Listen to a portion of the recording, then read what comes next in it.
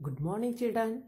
Welcome to EVS class. Okay, children, you also open your EVS textbook and open that page number 57. Okay, children, now all of look at here. Yes, children, you know that food items are usually cooked before eaten, but there are some food items which could be eaten raw. Yes, children, we eat few food items usually cooked before eaten, but there are some food items which could be eaten raw. Okay ಮಕ್ಕಳೇ ನಾವು ಕೆಲವೊಂದು ಪದಾರ್ಥಗಳನ್ನ ಕೆಲವೊಂದು ಆಹಾರ ಪದಾರ್ಥಗಳನ್ನ ಬೇಯಿಸಿ ತಿಂತೀವಿ. For example ಇವಾಗ ರೈಸ್ ಇರ್ಬೋದು ಹೌದಾ?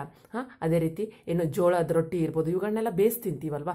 ಆದರೆ ಕೆಲವೊಂದು ಆಹಾರ ಪದಾರ್ಥಗಳನ್ನ ಏನು ಮಾಡ್ತೀವಿ? ಹಸಿಯಾಗಿ ತಿಂತೀವಿ. ಫಾರ್ ಎಕ್ಸಾಂಪಲ್ ತರಕಾರಿಯಲ್ಲಿ ಕ್ಯಾರೆಟ್ ಇರ್ಬೋದು ಆಮೇಲೆ ಸೌತೆಕಾಯಿ ಇರ್ಬೋದು, ಮೂಲಂಗಿ ಇರ್ಬೋದು, ಹೌದಾ? ಮತ್ತೆ ಅದೇ ರೀತಿಯಾಗಿ ಹಣ್ಣುಗಳನ್ನು ಕೂಡ ನಾವು ಬೇಯಿಸಿ ಹಾಗೆ ಹಸಿಯಾಗಿ ತಿಂತೀವಲ್ವಾ? ಅಂದ್ರೆ ಕೆಲವೊಂದು ಆಹಾರ ಪದಾರ್ಥಗಳನ್ನ ಬೇಯಿಸಿ ತಿಂತೀವಿ, ಕೆಲವೊಂದು ಆಹಾರ ಪದಾರ್ಥಗಳನ್ನ ಹಸಿಯಾಗಿ ತಿಂತೀವಿ, ಓಕೆನಾ? ಓಕೆ ನಾವು all of look at. To be it is a carrot, it is consider as a vegetable and to be healthy, it is eat and raw as children okay huh? we eat this carrot raw it helps to be healthy okay then it is a tomato it is also considered as a, a vegetable it is very tasty if it is eaten raw Yes, sometimes we eat this tomato raw, but sometimes we eat this cookie by cooked. Okay, then it is a radish. It is also considered as a vegetable. It is a little hot, but people like to eat it raw. As children, people uh, eat this radish raw only. Okay. Now, children, do you also eat it raw? Yes. Okay. Then it is a apple. It is considered as a fruit.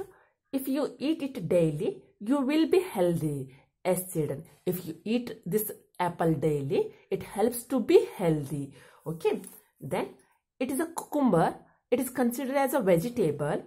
You will be happy if it is in your meal. As children, if cucumber is in our meal, we will be happy because it contains more quantity of water. Okay.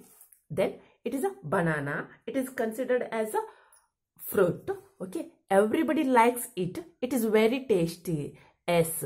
Everybody likes banana. It is a very tasty fruit. Okay ಹಾ, ಮಕ್ಕಳಲ್ಲಿ ಕೆಲವೊಂದು ಆಹಾರ ಪದಾರ್ಥಗಳನ್ನ ನಾವು ಹಸಿಯಾಗಿ ತಿಂತೀವಲ್ವಾ? ಮತ್ತೆ ಕೆಲವೊಂದು ತರಕಾರಿಗಳಿರ್ಬೋದು, ಕೆಲವೊಂದು ಹಣ್ಣುಗಳನ್ನ ನಾವು ಹಸಿಯಾಗಿ ತಿಂತೀವಲ್ವಾ? ಫಸ್ಟ್ ಆಫ್ ಆಲ್ ಕ್ಯಾರೆಟ್ ಅನ್ನ ನಾವು ಹಸಿಯಾಗಿ ತಿಂತೀವಿ. ಈ ಕ್ಯಾರೆಟ್ ಅನ್ನ ಹಸಿಯಾಗಿ ತಿನ್ನೋದ್ರಿಂದ ಏನಾಗುತ್ತೆ? ನಾವು ಹೆಲ್ದಿ ಆಗಿರ್ಲಿಕ್ಕೆ ಹೆಲ್ಪ್ ಆಗುತ್ತೆ ಓಕೆನಾ ಅದೇ ರೀತಿ ಈ ಟೊಮ್ಯಾಟೊನು ಕೂಡ ನಾವು ಕೆಲವೊಂದು ಟೈಮಲ್ಲಿ ಬೇಯಿಸಿ ತಿಂತೀವಿ, ಕೆಲವೊಂದು ಟೈಮಲ್ಲಿ ಹಸಿಯಾಗಿ ತಿಂತೀವಿ ಓಕೆನಾ ಇದು ಕೂಡ ತುಂಬಾ ಟೇಸ್ಟಿಯಾಗಿರುತ್ತೆ ಅದೇ ರೀತಿ ಈ ರ್ಯಾಡಿಷನ್ನು ಕೂಡ ನಾವೇನು ಮಾಡ್ತೀವಿ? ಹಸಿಯಾಗಿ ತಿಂತೀವಿ ಓಕೆನಾ ನೆಕ್ಸ್ಟ್ ಆ್ಯಪಲನ್ನು ಕೂಡ ನಾವು ಡೈಲಿ ಒಂದು ಆ್ಯಪಲನ್ನು ತಿಂದರೆ ಏನಾಗುತ್ತೆ ನಮಗೆ? ತುಂಬ ಹೆಲ್ದಿ ಆಗಿರ್ಲಿಕ್ಕೆ ಹೆಲ್ಪ್ ಆಗುತ್ತೆ ಓಕೆನಾ ಇದು ಕೂಡ ತುಂಬ ಟೇಸ್ಟಿಯಾಗಿರುತ್ತೆ ಇದನ್ನು ಹಣ್ಣು ಹಣ್ಣು ಅಂತ ಕನ್ಸಿಡರ್ ಮಾಡ್ತೀವಿ ಓಕೆನಾ ನೆಕ್ಸ್ಟ್ ಸೌತೆಕಾಯಿ. ಈ ಸೌತೆಕಾಯಿಯನ್ನು ನಾವು ವೆಜಿಟೇಬಲ್ ತರಕಾರಿ ಅಂತ ಕನ್ಸಿಡರ್ ಮಾಡ್ತೀವಲ್ವಾ? ಹಾಂ? ಇದೊಂದರೆ ನಾವು ಡೈಲಿ ನಮ್ಮ ಆಹಾರದಲ್ಲಿ ನಾವು ಸೇವಿಸಿದರೆ ನಮಗೆ ತುಂಬ ಹೆಲ್ಪ್ ಆಗುತ್ತೆ. ಮತ್ತು ಇದೇನಾಗುತ್ತೆ? ತುಂಬ ಕ್ವಾಂಟಿಟಿ ಆಫ್ ವಾ ಅಂದರೆ ಇದರಲ್ಲಿ ತುಂಬ ಪ್ರಮಾಣದಲ್ಲಿ ನೀರಿರುತ್ತೆ ಓಕೆನಾ ಹಾಂ? ದೆನ್ ಈ ಹಣ್ಣು ಬಾಳೆಹಣ್ಣನ್ನು ಕೂಡ ನಾವೇನು ಮಾಡ್ತೀವಿ? ನಮ್ಮ ಊಟದಲ್ಲಿ ಅಥವಾ ನಮ್ಮ ಮೀಲಲ್ಲಿ ನಾವು ಅಥವಾ ನಮ್ಮ ಯಾವಾಗಲೂ ತಿಂತೀವಲ್ವ? ಎಲ್ಲರೂ ಕೂಡ ಈ ಬಾಳೆಹಣ್ಣನ್ನು ಇಷ್ಟಪಡ್ತಾರೆ. ಯಾಕಂದರೆ ತುಂಬ ಟೇಸ್ಟಿ ಆಗಿರುತ್ತೆ ಓಕೆನಾ okay next turn your page Name five food items which you eat raw and five cooked food items you eat. Yes, children, it is an activity for you. Uh, your uh, name here five food items which you eat raw and five food items which you cook and eat. ಮಕ್ಕಳಲ್ಲಿ ಒಂದು ಆಕ್ಟಿವಿಟಿಯನ್ನು ಕೊಟ್ಟಿದ್ದಾರೆ ಏನು ಮಾಡಬೇಕು ಅಂತಂದರೆ ನೀವು ಯಾವ food ಐಟಮ್ಸನ್ನು ಯಾವ five food ಐಟಮ್ಸನ್ನು ನೀವು ಹಸಿಯಾಗಿ ತಿಂತೀರಲ್ವ ಅವುಗಳನ್ನ ಇಲ್ಲಿ ಬರಿಬೇಕಂತೆ ಮತ್ತು ಯಾವ ಒಂದು ಐದು ಫುಡ್ ಐಟಮ್ಸನ್ನು ನೀವು ಬೇಯಿಸಿ ತಿಂತೀರಲ್ವ ಅವುಗಳ ಹೆಸರನ್ನು ನೀವು ಇಲ್ಲಿ ಬರಿಬೇಕು ಓಕೆನಾ next. Uh, uh, look at here. It is good for health to eat vegetables like carrot radish and cucumber raw as children. It is a good for health to eat vegetables and like carrot radish and cucumber raw okay?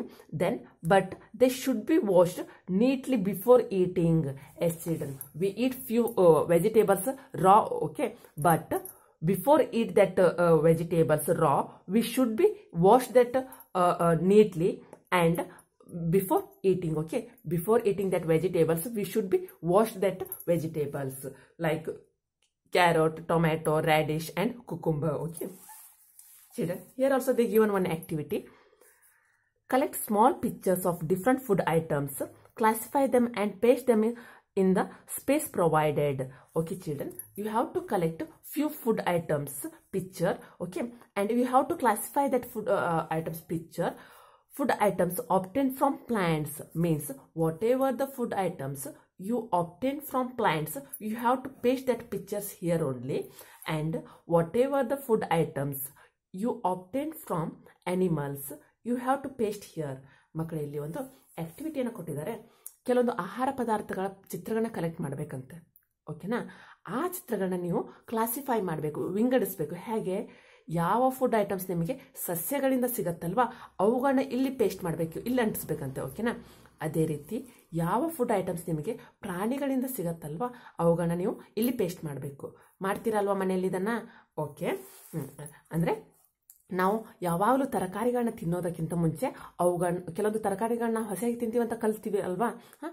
ಅಂದರೆ ಇವಾಗ radish ಇರ್ಬೋದು tomato ಇರ್ಬೋದು carrot ಇರ್ಬೋದು cucumber ಇರ್ಬೋದು, ಸೌತೆಕಾಯಿ ಇರ್ಬೋದು, ಇವುಗಳನ್ನೆಲ್ಲದನ್ನು ನಾವು ಹಸಿಯಾಗಿ ತಿಂತೀವಿ ಅಂತ ಕಲ್ತೀವಿ ಅಲ್ವಾ? ಅವುಗಳನ್ನ ಹಸಿಯಾಗಿ ತಿನ್ನೋದ್ರಿಂದ ನಾವು ಹೆಲ್ದಿಯಾಗಿರ್ತೀವಿ ಅಂತ ನಮ್ಗೆ ಗೊತ್ತುಂಟಲ್ವಾ?